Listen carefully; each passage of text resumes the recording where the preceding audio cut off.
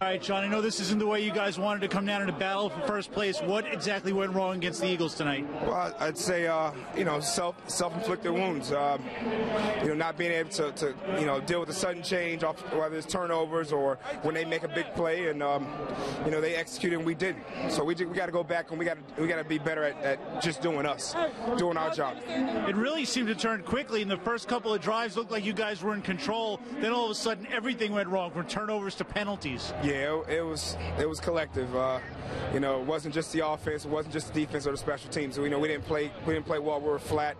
Uh, I don't know what it is. But we got to go back and watch the film and make some corrections, and we got to get better fast. You're obviously not out of it in the NFC East. What do you guys do from here to come back next week against the Cowboys? Well, you know, everything's still in our hands. It's unfortunate to give this one back. You know, we're in the lead, but uh, you know we're still, uh, you know, still where we, we want to be in terms of in the hunt, and uh, we just got to keep playing football.